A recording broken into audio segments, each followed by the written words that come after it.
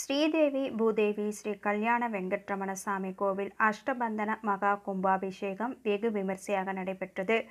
முன்னூறு ஆண்டுகள் பழமை வாய்ந்த கோவை ராஜவீதி பெரிய கடை வீதி நடுவில் அமைந்துள்ள ஸ்ரீதேவி பூதேவி ஸ்ரீ கல்யாண வெங்கட்ரமண சாமி கோவில் அஷ்டபந்தன மகா கும்பாபிஷேகம் வெகு விமர்சையாக நடைபெற்றது.